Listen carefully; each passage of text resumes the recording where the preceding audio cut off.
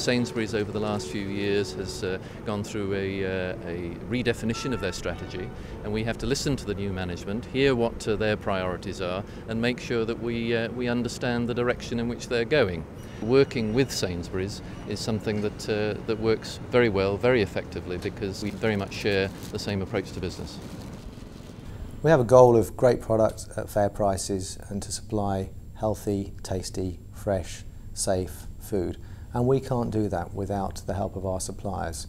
And that's about a relationship that's based on mutual benefit, trust and a long-standing relationship.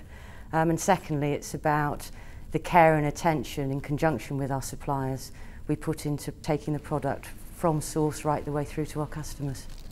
Unless we have great sourcing from great suppliers, Sainsbury's won't be successful. If Sainsbury's aren't successful, then our shareholders won't benefit. We've chosen Vitacress specifically to supply our baby leaf segment because they are the UK's leaders, leading um, supplier of baby leaf. Um, and their business is completely aligned with the Sainsbury business, which is why they've been a supplier to Sainsbury now for over 30 years. Our sector, which is we call it the dark green sector, spinach, roquette, watercress, very nutritious leaves, so have lots of health benefits and Sainsbury's have allowed us to develop most of our products in that area that we know we can deliver vitamin content, we can deliver nutritional content, we know the consumer, there is a march towards health in the marketplace. Certainly watercress farming is you, you couldn't get a better farming activity to have near you because I mean the farms look very sort of aesthetically pleasing. It's quite a low disturbance activity watercress farming. Within about four weeks of planting we're ready to harvest.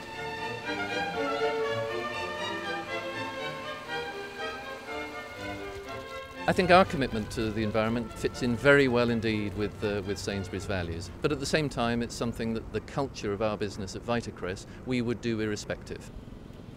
We've set aside 10% of our farmed area to um, various habitats and then also just encouraging hedgerow growth, barn owl boxes, bat, bat boxes here in this tree and just very careful on what pesticides we use as well.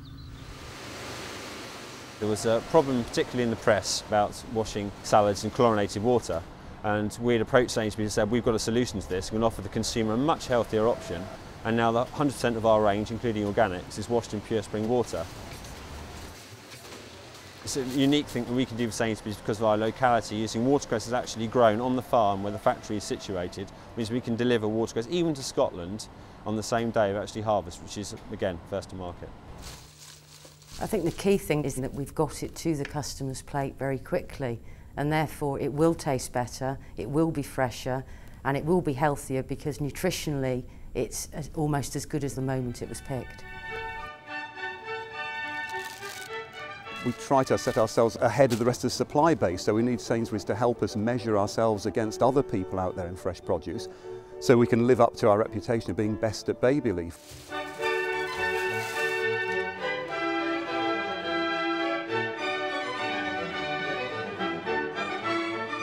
We want to be the freshest, most nutritious, most tasty, the, the best on the shelf, and, and we need to work with Sainsbury's to ensure that.